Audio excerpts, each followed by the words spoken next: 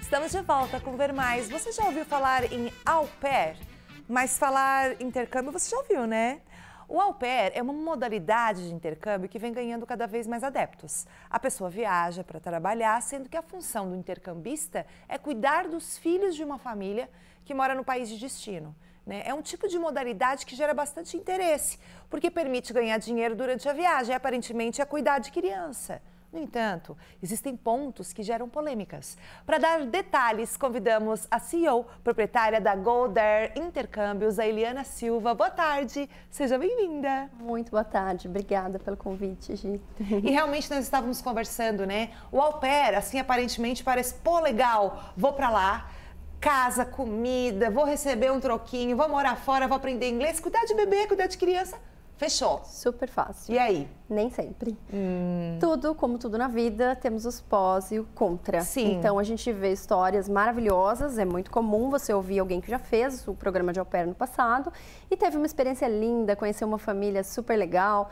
Mas infelizmente a gente tem que se atentar, como hoje tem outras opções, na hora de fazer essa comparação, a gente tem que pensar nos contras. Então, uhum. poxa, se eu for para uma família que fica numa cidade mais remota, no endereço, né, onde a casa fica num ponto com difícil acesso, como é que vai ficar minha logística? Eu vou ficar presa àquela residência por muito tempo? Então, uhum. tem muitas coisas bacanas, o custo é baixo é, e tem ali a bolsa de estudo, uma remuneração, é uma, um jeito fácil da gente poder conhecer uma outra cultura, mas tem que ficar bem atenta porque ultimamente a gente tem visto também muita coisa é, ruim acontecer, assim, Sim. alguns, alguns sustos. É, é só a questão das dúvidas, das regras, porque existem regras, né, gente?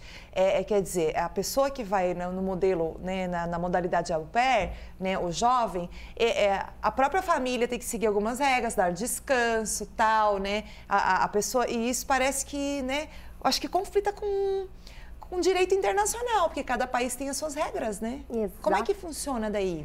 O que, que acontece? Cada família, é, todas elas têm que se adequar a regras internacionais né, e regras gerais do programa. Tá. Mas nessas regras, se a gente avaliar, é, tem ali limitação da idade, eles têm que dar o descanso, mas em geral, as horas trabalhadas, de fato, são longas. É. Então é cansativo. Se você 10 pega horas, eu acho em que tá... torno Nossa, de 10 gente. horas, de 8, pode variar de 6 até 10, mas essa pessoa vai estar ali numa rotina intensa que acaba não se limitando a olhar uh, as crianças. Sim. Muitas pessoas, muitas das estudantes, porque na maioria são mulheres, é, meninas, jovens, muitas delas se deparam numa rotina de uma mãe que tem que cuidar da alimentação dessa criança, que às vezes não é uma, são três, até quatro, que né, Sim, mais. é. Mas em geral ali, o americano, o, na América do Norte, até no Canadá, onde a gente tem bastante experiência, as famílias têm bastante filhos. Sim, sim. E se ela está precisando de ajuda, essa mãe, muito provavelmente é porque tem mais de uma criança nessa casa. Sim.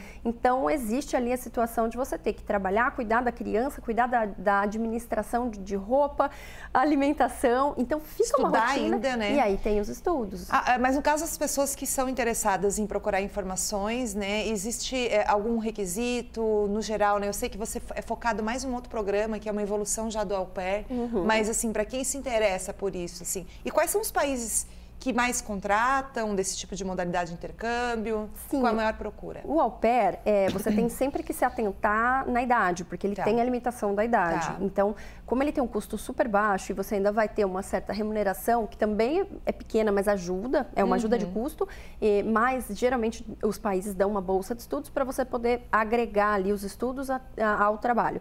Cada país vai seguir um, um modelo, mas você Uhum. tem que estar atenta, por exemplo, a buscar agências que têm eh, credibilidade, tempo de Claro. mercado, para você não, não eh, procurar instituições que não têm tanta experiência com esse tipo. cair em cilada, né? É, Exatamente. e às vezes perigosa, que pode ocasionar problemas sérios para sua vida, né? Exatamente. Tava lendo ali, né? é, Canadá, você falou ali, Canadá, Estados Unidos, né? Portugal, França, tanto na Sim. Europa quanto na América do Ah, Norte. também. É bem. não é bem- só na- nas, ah, na- nos países anglo-saxões, não? Também não, tem. não, você consegue escolher uma gama grande de Ai, que legal, locais. Isso que é bom. Para quem quer aprender Sim. o Ai, idioma, ótimo. É muito jovens, bacana. né? Aprende o idioma, tem experiência de vida e uhum. profissional. O que eu queria destacar aqui agora é, é por exemplo, é, é, essas novas modalidades que você, inclusive, trabalha na, na, sua empresa, né? Que é um avanço da Au Pair. Queria que você explicasse que tipo de, que tipo de modalidade que é. Sim, a Goldera, ela começou todo o trabalho na área de validação de diploma, que era uma área um pouco mais uh, acadêmica, ah. no segundo estágio. E nós nos especializamos em graduação internacional. Hum. Logo em seguida, a gente começou a entender que o estudante brasileiro ele precisa de opções de estudos mais trabalho no exterior e ele precisa ter esse dinheirinho entrando, que é basicamente o, o primeiro conceito do Sim. au pair. E nós hoje oferecemos intercâmbios que dão acesso ao estudante poder trabalhar e estudar, estudar. ao mesmo tempo. Hum. Isso é muito legal, porque alguns deles, eh, vou dar um exemplo, no Canadá a gente tem um setor de hotelaria em que o estudante vai fazer um curso e se ele já fala um nível de inglês intermediário, ele já faz a entrevista de emprego no Brasil e ele sai do Brasil já com empregado. o emprego num hotel maravilhoso numa cidade próxima a Vancouver, chama oh. Whistler, e ele vai chegar lá com tudo certo, moradia, o trabalho, a entrevista já feita, a documentação, o curso. Que legal. Então tem outros programas que você não vai com o emprego garantido, uhum. mas já vai com a garantia do visto de trabalho. Sim. Então você chega lá e fala, opa, eu sei que eu vou conseguir trabalhar. Tem países que pagam super bem, por exemplo, a Irlanda tem um salário médio ali para o estudante internacional, ele já chega ganhando em torno ali de 12 euros por hora. Então, uhum. isso é muito bom tá. na Europa. Tem um custo de vida um pouco mais alto em relação à moradia, mas é, tudo entra Sim. depois no É vida de estudante, né? Para começar, a gente sempre brinca aqui no Brasil, vida de estudante é assim. Exato. Mas assim, é, é, é, Estados Unidos antes era muito difícil você conseguir isso. Ainda é o lugar mais procurado e é difícil ainda? Ainda é por conta do visto, mas é um dos lugares mais procurados e hoje a gente tem tanto programa bacana para quem quer ir mais jovem, isso facilita muito na questão do visto. E quando é mais jovem, quando, qual a idade? A partir de 12 anos a gente tem opções para esse jovem conhecer os Estados Unidos uhum. e ficar, por exemplo, fazendo um programa que a gente chama de Summer Camp, dentro de universidades como Harvard. Então, a gente tem parceria com instituições que levam esse jovem para fazer um programa focado em. Uh, é um programa vocacional, para você conhecer as universidades. Então, tem tour pelas universidades. Ah. Você passa quatro semanas, duas semanas dentro das que melhores legal, universidades. Que legal. Geralmente isso para mais jovens dura quanto tempo?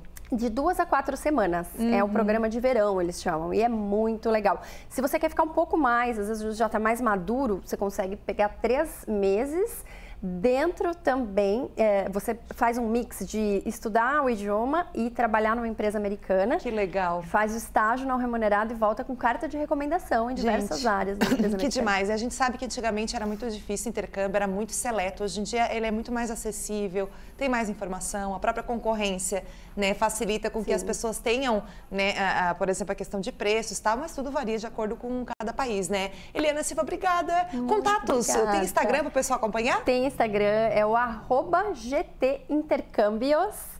E o celular, o WhatsApp, a gente trabalha com o DDD 19 99294 2282 também. Esse ah, fica on o tempo todo. Que legal demais, adorei. Volte sempre para ser nossa consultora em viagens. Muito obrigada, contem comigo. Valeu, gente, muito obrigada, viu? Ah, eu tava aqui, falou em Vancouver, me deu uma vontade. Hum, eu, sou, eu não conheço, mas assim, eu sou fascinada. É gente, beijo no coração, tá bom? Vou viajar aqui, ó. Oh, tchau!